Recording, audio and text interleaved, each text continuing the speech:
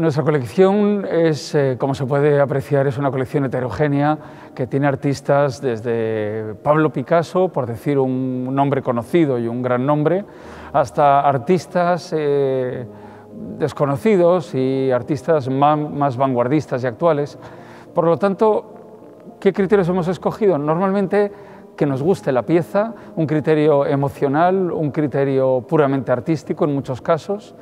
Eh, por lo tanto, no nos regimos tanto por eh, que una pieza sea más o menos buena o más o menos cara. Eh, si nos gusta la pieza, si nos hace sentir algo, yo creo que ese es siempre el mejor criterio y es precisamente el, objetivo, el objeto de esta exposición. Aquí hay muchas piezas que, yo llevo viendo desde que era pequeño, entonces cada una tiene un significado dentro de, mi vida o que las he visto en la propia fundación.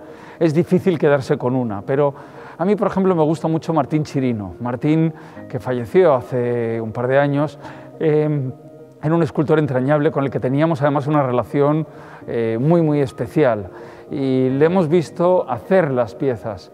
Por lo tanto, la relación con él y las piezas tienen un carácter eh, afectivo eh, que se añade a, lo estético y a lo maravillosamente bonitas que son sus obras.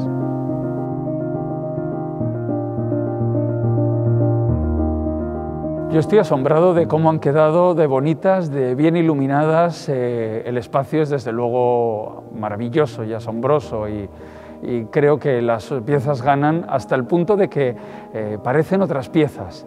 Parece, eh, no parece la pieza que vemos todos los días en la, oficina o en casa.